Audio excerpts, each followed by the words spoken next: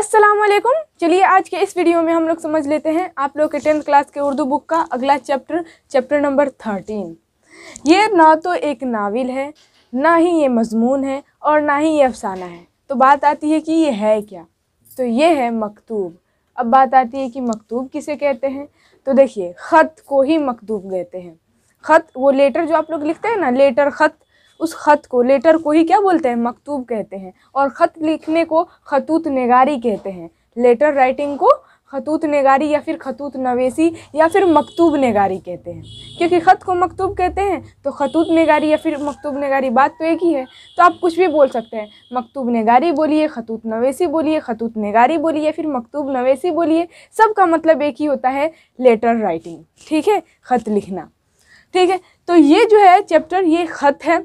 और इस ख़त के लिखने वाले कौन हैं? मतलब इस मकतूब, इस चैप्टर के राइटर कौन है? मुसनफ़ कौन है? वो है अजदुल्ला खा गालिब। अजदुल्ला खा गालिब ही इस मकतूब को, इस लेटर को लिख रहे हैं। यानी कि इस चैप्टर के मुसनफ़ कौन हुए? अजदुल्ला खा गालिब। इनको मिर्ज़ा गालिब के नाम से भी जाना जाता है। और मिर्ज़ा गालिब को कौन नहीं जानता है? दुनिया के मशहूर शायरों में से एक, जिनके ज़ुबान से हमेशा शेर व शायरी ही निकला करती थी। उन्हीं का एक मशहूर शेर है कि, गंदे लिबास देख कर तू फैसला न कर, ये कौन सा दरख्त है? फल बताएगा। क्या सही बात कही है उन्होंने? किसी भी इंसान की पहचान उसके लिबास से नहीं करनी चाहिए, यानी कि किसी भी इंसान की पहचान उसके कपड़ों से नहीं करनी चाहिए, उसकी पहचान उसका हुनर बताता है। इसीलिए किसी भी इंसान की पहचान ना, उसकी शख्सियत की पहचान आप लोग उसके हुनर से कीजिएगा, टैलेंट से कीजिएगा, उसके लिबास से नहीं। क्या पता वो फटा पुराना ही पहना हो, लेकिन उसके अंदर हुनर हो। है कि नहीं? तो वो बहुत बड़ी बात मतलब उनसे आप जो भी बात करेंगे ना, मिर्ज़ा गालिब से, उसका जवाब वो शेर व शायरी में ही दिया करते थे। ठीक है, दुनिया के मशहूर शायरों में से एक थे। अब यहाँ पर इन्होंने ख़त लिखा है। किसको लिखा है ख़त? तो सैयद शाह करामत, हुसैन करामत, हमदानी के नाम इन्होंने ये ख़त लिखा है। यहाँ पर खतूत नगारी भी वो कर दिए हैं मतलब लेटर राइटिंग भी किए हैं। इनका, देखिए, पूरा नाम है मिर्ज़ा असदुल्ला खा गालिब। इनकी पैदाइश हुई थी 27 दिसंबर सत्रह सौ संतानवे ईस्वी को और अपनी नानीहाल आगरा में इनकी पैदाइश हुई थी। इनकी नानी के घर आगरा में इनका क्या हुआ था? इनकी जन्म जन्म हुआ था, पैदाइश हुई थी। इनके वालिद का नाम था मिर्ज़ा अब्दुल्ला बेग और वालिदा का नाम इज़्ज़तुलनसाए बेगम। यानी कि इनके पिताजी का नाम मिर्ज़ा अब्दुल्ला बेग और माँ का नाम इज़्ज़तुलनसाए बेगम। ठीक है? चाचा का नाम था नसरुल्ला बेग। चाचा का नाम क्यों दिया गया है? क्योंकि चाचा ही थे जिन्होंने अब्दुल्ला खां का देखभाल किया था। क्योंकि बचपन में, पाँच छः साल की उम्र में ये जो मिर्ज़ा गालिब के वालिद हैं, यानी कि पिताजी हैं, वो इंतकाल कर गए थे और इनकी देख रेख यानी कि मिर्ज़ा गालिब की पालन पोषण जो है ना, वो चचा जान ने किया नसरुल्ला बेग ने। इसीलिए उनका नाम भी क्या है फ़ेमस है नसरुल्ला बेग। अब देखिए, उनकी शादी हुई थी, यानी कि मिर्ज़ा गालिब की जो शादी हुई थी, वो हो गई थी तेरह साल की उम्र में ही। बख्श खां मारूफ की बेटी अमराव बेगम, उमराव बेगम से। तेरह साल की उम्र में मिर्ज़ा गालिब की शादी किससे हुई? उमराव बेगम से। ये याद रखिएगा। और मिर्ज़ा गालिब का इंतकाल हो गया है मतलब ये इस दुनिया से रुखसत हो गए कब? पंद्रह फरवरी अट्ठारह को, एटीन में। ठीक है? इनकी उर्दू और फ़ारसी, दोनों ज़ुबानों में ये ख़तूत लिखे हैं। मतलब मिर्ज़ा गालिब जो है ना, उर्दू और फ़ारसी, दोनों ही भाषा में ख़त, लेटर को लिखा है। ठीक है, ख़तूत के दो मजमू हैं इनके। मतलब ख़तूत का इनका दो किताब है, ख़त का। एक है तो उद हिंदी और दूसरा है उर्दू मोल्ला ठीक है, ये आप लोग याद रखेंगे। और इन, ये जो है ना अल्लाह खा गालिब, यानी कि मिर्ज़ा गालिब, ये पहले अपने शेर में क्या असद तखल्लुस रखते थे? क्या तखल्लुस रखते थे? असद। ये तखल्लुस का मतलब मैं बता चुकी हूँ। कितना बार बताई हूँ ये ग्रामर का है। तखल्लुस का मतलब होता है, शायर जो होता है, अपने शेर में जो नाम इस्तेमाल करता है, उसको बोला जाता है तखल्लुस। मतलब असद अल्लाह खा मतलब मिर्ज़ा गालिब अपने शेर में कौन सा नाम पहले इस्तेमाल किया करते थे? तो असद। लेकिन फिर बाद में उन्होंने नाम को चेंज कर दिया और गालिब लगाना स्टार्ट कर दिया। मतलब गालिब तखल्लुस रख दिया। ठीक है? तो ये हो गई हम लोगों की मिर्ज़ा गालिब के बारे में कुछ डिटेल्स अब हम लोग चैप्टर की तरफ़ चलते हैं, मकतूब नगारी, और देखते हैं कि कैसे हमारे जो मिर्ज़ा गालिब है, सैयद शाह को कैसे ख़त लिखे हैं, कैसे ख़तूत नवेशी किए हैं, इसको ज़रा देख लेते हैं। इसके लिए मैं किताब ले लेती हूँ आप लोगों का दरक्षा का, और निकालती हूँ chapter number thirteen chapter number thirteen एक मिनट। वेट कीजिए। हाँ देखिए, यहाँ पर है, अस्त अल्लाह खा गालिब के बारे में, इसमें से जो मेन मेन पॉइंट है, वो निकाल कर मैं यहाँ पर लिख दी हूँ बोर्ड पर, और यहाँ से आप लोगों का चैप्टर स्टार्ट होता है। देखिए, सैयद शाह करामत हुसैन करामत हमदानी के नाम, ठीक है? अब चलिए ज़रा देखते हैं कि कैसे हमारे जो मिर्ज़ा गालिब हैं, दुनिया के मशहूर शायर, वो सैयद शाह को कैसे मतलब ख़त लिखे हैं, खतूत का अंदाज़ देखिए।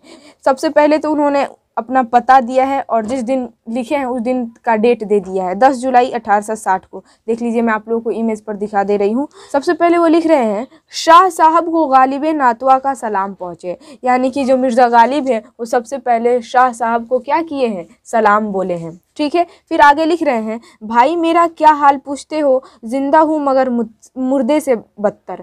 मतलब बोल रहे हैं गालिब कि मेरा क्या हाल तुम पूछते हो? मैं तो ज़िंदा हूँ, लेकिन मुर्दे से बदतर हूँ। फिर आगे बोल रहे हैं, हवादिस ज़माना व अवारिज जिसमी से नी में जा हो रहा हूँ। हवादिस ज़माना मतलब दुनिया की हादसे और अवारिज जिसमी मतलब जिसमी बीमारी मतलब शरीर की बीमारी से नी में जा हो रहा हूँ, आधी जान हो रहा हूँ।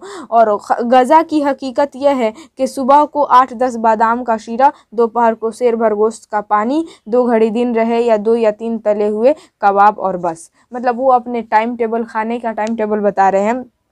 क्या बता रहे हैं? कि वो सुबह को आठ दस बादाम खा लेते हैं, दोपहर को शेर भर गोश्त का पानी पी लेते हैं और उसके बाद दो घड़ी दिन रहे या दो या तीन तले हुए मतलब शाम को क्या करते हैं? दो या तीन तले हुए कबाब खा लेते हैं। ठीक है निसियान हद से गुज़र रहा हूँ। मतलब भूलने की बीमारी से गुज़र रहा हूँ मैं। अभी हर चीज़ में भूल जाता हूँ। ख़त्मा कलाम इसलाह तलब बक्स या किताब में रख देता हूँ और भूल जाता हूँ। मतलब बोल रहे हैं, जो ख़त आता है मेरे लिए या फिर जो भी कलाम आता है जिसको करेक्शन करना रहता है मतलब उसको सुधारना रहता है, उसको किसी बक्स या फिर किताब में रख कर क्या कर देता हूँ? भूल जाता हूँ। ऐसी हालत में अगर ख़त का जवाब या इसलाही गज़ल देर में पहुँचे तो शिकायत ना किया करो। भूल जाता हूँ और ऐसी हालत में अगर ख़त मेरा, ख़त का जवाब जो है देर से पहुँचे या फिर जो भी इस्लाही गज़ल, यानी कि जो गज़ल का करेक्शन जो है, वो देर से पहुँचे तो उसके लिए शिकायत ना किया करो। मुझे ज़िंदा समझते हो, जो ताज़ा कलाम की फरमाइश करते हो? गनीमत नहीं जानते कि मुर्दा कुछ लिख कर भेज देता है? मतलब इसमें आगे मिर्ज़ा गालिब बोल रहे हैं। कि तुम मुझे ज़िंदा समझते हो, इसीलिए कलाम की फरमाइश करते हो कि मैं कलाम भेज दूँ करेक्शन कर कर। लेकिन ये गनीमत समझो कि मैं मुर्दे से बदतर होकर भी क्या कर रहा हूँ? ख़त लिख कर तुम भेज दे रहा हूँ, यही काफ़ी है। ठीक है? सौ रुपये जो तुमने भेजे वह मुझे मिले। मैं दोस्तों की खिदमत गुजारी में कभी कासिर रहता कभी काशिर नहीं नहीं रहता। इस तकलीफ़ की क्या ज़रूरत थी? मतलब बोल रहे हैं कि जो तुमने सौ रुपये भेजे थे ए, क्या बोला? गज़ल का करेक्शन करने के लिए सुधारने के लिए उसकी क्या ज़रूरत थी? मैं तो किसी दोस्तों की खिदमत गुजारी में कभी पीछे नहीं हटता। उनकी हमेशा खिदमत करता हूँ। ठीक है? मैं यूँ ही खिदमत गुजारी को हाजिर हूँ। तुम नहीं भी देते ना सौ रुपया तो फिर तो फिर भी मैं क्या कर लेता? उसका करेक्शन कर कर तुम्हारे पास भेज देता। दोस्तों की खिदमत गुजारी गुजारी में मैं कभी पीछे नहीं हटता। ठीक है, जब चाह, जब चाहो अपना कलाम भेजो, तुम्हारी तीनों गज़लें बाद इसलाह भेजता। मतलब इसमें मिर्ज़ा गालिब बोल रहे हैं कि तुम जब चाहो अपना कलाम भेज देना, अभी जो तुम तीन गज़लें भी भेजे हो करेक्शन करने के लिए, उसको मैं बाद में करेक्शन कर कर तुम्हारे पास भेज दूँगा। लेकिन तुम जब चाहे तब तुम कलाम भेज सकते हो सुधारने के लिए करेक्शन करने के लिए। ठीक है? चश्मे बदूर तुम्हारी तबीयत मुनासिब इस फ़न के हैं। अल्लाह निगाह बद से महफूज रखे। बोल रहे हैं कि बुरी नज़र से दूर रहो, तुम्हारी तबीयत मुनासिब हो और अल्लाह तुम्हें क्या करे? बुरी नज़र से बचाए। ठीक है? और फिर लास्ट में उन्होंने अपना नाम भी लिख दिया है। ये है आप लोगों का मिर्ज़ा गालिब का ख़तूत, जो सैयद शाह करामत सैयद शाह करामत हुसैन करामत हमदानी के नाम लिखे हैं। ठीक है? तो ये हो गया आप लोगों का चैप्टर नंबर थर्टीन इसी के साथ कंप्लीट इसमें और कुछ नहीं है, बस इसके क्वेश्चन आंसर को देख लेते हैं। स्टार्ट हो रहा है मुख्तसर तरीन सवाल से, यानी कि अति लघु उत्तरीय से। ठीक है? सबसे पहला सवाल है, गालिब की सन पैदाइश क्या है? यानी कि गालिब किस सन में पैदा हुए? तो 27 दिसंबर सत्रह सौ संतानवे ईस्वी को वो पैदा हुए। ठीक है? ये आप लोग लिख देंगे, आंसर हो जाएगा। दूसरा सवाल है, गालिब कहाँ पैदा हुए? तो मिर्ज़ा गालिब जो है, वो अपनी नानिहाल आगरा में पैदा हुए। तो दूसरा का आंसर हो गया। तीसरा सवाल है, गालिब के खतूत के किसी एक मजमू का नाम लिखना है। जो गालिब लिखे हैं ख़त, उसका किसी एक मजमू, एक किताब का नाम लिखना है। तो मैं दो ठो खतूत के दो मजमू बताई, उसमें से कोई एक लिख देना है, ये लिख दीजिए या फिर ये लिख दीजिए, कोई एक लिखना है। ठीक है, चौथा सवाल है, गालिब ने कितने खतूत लिखे? हैं तो ये आप लोगों के बुक में तो दिया नहीं है कितने लिखे, लेकिन मैं आप लोगों को बता दे रही हूँ, इसमें कहीं भी ज़िक्र नहीं किया है कि गालिब ने कितने खतूत लिखे हैं कितने ख़त लिखे, लेकिन मैं आप लोगों को बता दे रही हूँ कि गालिब ने नौ सौ खतूत लिखे थे। ठीक है, कितने? Nine hundred. अब आती है मुख्तसर सवालात की बात, यानी कि लघु उतरिया। पहला सवाल है, मकतूब नगारी के फ़न से अपनी वाकफियत का इजहार कीजिए। यानी कि जो आप लोगों का लेटर राइटिंग है, उस आर्ट के हिसाब से अपनी वाकफियत का इजहार कीजिए। आप क्या समझते हैं उससे? आपका क्या नॉलेज मिलता है मकतूब नगारी से? ठीक है, ये आप लोगों को बताना है। तो ये आप लोग खुद से बताएँगे। पहले ये बता दीजिएगा कि मकतूब नगारी कहते किसे हैं ख़तूत नगारी को ही मकतूब नगारी कहते हैं लेटर राइटिंग को। दूसरा सवाल है, गालिब ने अपने ख़तूत में किन बातों का इजहार किया है? मतलब जो गालिब ख़त लिख रहे हैं, सैयद शाह करामत हुसैन को, इसमें किन किन बातों का इजहार किया है, ये बताना है। तो मैं पढ़ कर बताई थी ना इधर कि वो क्या क्या बात का इजहार, सबसे पहले तो अपना हाल बताए हैं कि मैं ज़िंदा हूँ, लेकिन मुर्दा से बदतर हूँ।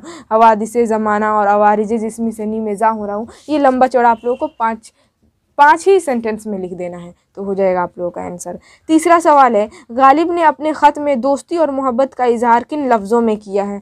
ठीक है, इन्होंने अपने ख़त में दोस्ती और मोहब्बत का इजहार कैसे किया है, ये आप लोगों को बता देना है. यही ख़त में से देखकर आप लोग लिख सकते हैं. ठीक है? ये आप अपने पाँच सेंटेंस में लिख देना है, आसानी से लिखा जाएगा, ठीक है? चार नंबर सवाल है, गालिब का तारुफ मुख्तर लिखिए, यानी कि गालिब का तारीफ़ करना है आप लोगों को, मिर्ज़ा गालिब का उनके बारे में लिखना है, ठीक है? तो आप अपने मन से लिखेंगे, मैं ऑलरेडी सब कुछ बता दी हूँ। अगर आप लोग लिख लेते हैं ना तो बेहतर तरीके से आप लोग लिख पाएँगे। ठीक है, पाँच नंबर सवाल है, गालिब के ख़तूत की ज़ुबान पर पाँच सतरें लिखिए यानी कि गालिब के ख़तूत के ज़ुबान पर उन, क्या लिखना है? उनकी तारीफ़ व तोसी बयान करनी है तो गालिब पर आप लोग खुद से लिखेंगे। ठीक है, अब आती है तवील सवालात की बात, यानी कि दीर्घ उत्तरीय प्रश्न की। सबसे पहला सवाल है, गालिब के लिखे हुए खतूत किस नौीयत के हैं? यानी कि जो ये गालिब का लिखा हुआ खतूत है, वो किस नेचर का है? ये आप लोगों को बताना है। तो ये तवील सवाल है तो इसमें आप लोग थोड़ा लंबा चौड़ा लिख दीजिएगा। दूसरा सवाल है, गालिब के अलावा किन कलमकारों के मुकातिब किताबी शक्ल में शाई हुआ? यानी कि गालिब के अलावा जो है गालिब के अलावा, गालिब तो ऑलरेडी वो खतूत, यानी कि ख़त का, लेटर का किताब प्रकाशित किए ही, लेकिन गालिब के अलावा और कितने लोग हैं और कितने खतूत नगार हैं जिन्होंने खतूत का मजमू यानी कि ख़त का किताब शाये किया, प्रकाशित किया। तो ये आप लोगों को बताना है। इनके अलावा शिबली नमानी, अलामा इकबाल प्रेमचंद्र ये आप लोगों को लिख दीजिएगा। वो लोग भी क्या किए हैं? गालिब की तरह ख़त का किताब प्रकाशित किए हैं। ठीक है? तीसरा सवाल है, गालिब के खतूत से उर्दू नसर को क्या फ़ायदा पहुँचा है? यानी कि जो गालिब ख़त लिखा करते थे, उसे हम लोग उर्दू नसर को क्या फ़ायदा पहुँचा है? ये आप लोग खुद से लिखेंगे। गालिब जो है ना, वो जब खतूत लिखा करते थे तो उन्होंने मुरासला को मुकालमा बना दिया। मुरासला मतलब समझते हैं, मकतूब वही ख़त, लेटर को ही मुरासला बोलते हैं। कई नाम है, मुरासला, मकतूब ख़त, ये सब क्या है, एक ही है। तो उन्होंने ख़त को क्या कर दिया है, मुकालमा बना दिया है। मतलब उनके ख़त को पढ़कर ऐसा लगता है कि बा मतलब बातें निकल कर बोल रही हैं। ठीक है? तो उसके बारे में, गालिब के खतूत के बारे में आप लोगों को तारीफ़ और तोसी बयान करना है कि उर्दू नसर को क्या फ़ायदा पहुँचा है। ठीक है? चार नंबर और लास्ट सवाल है, मकतूब नगारी के क्या फ़ायदे हैं? मतलब ऐसे सॉरी लेटर राइटिंग के क्या फ़ायदे हैं? ये बताना है आप लोगों को तो आप लोग खुद से बताएँगे और इसी के साथ आप लोगों का ये चैप्टर क्या होता है? चैप्टर नंबर थर्टीन कंप्लीट होता है। अब नेक्स्ट वीडियो में हम लोग चैप्टर नंबर फोर्टीन यानी कि चौदह को स्टार्ट करेंगे और उसको भी बहुत अच्छे तरीके से क्लियर करेंगे। इस चैप्टर से रिलेटेड कोई भी कंफ्यूजन हो, आप हमें कमेंट कर कर पूछ सकते हैं। वीडियो अच्छा लगा लाइक कीजिए ज़्यादा से ज़्यादा शेयर कीजिए अपने पड़ोसियों के पास, अपने दोस्तों के पास और हाँ चैनल को सब्सक्राइब कर कर रखिए ताकि जो भी मैं वीडियो अपलोड करूँगी, आप तक सबसे पहले पहुँचेगी। तो मिलेंगे नेक्स्ट वीडियो में नेक्स्ट टॉपिक के साथ, तब तक के लिए जय हिंद और खुदा हाफिज़।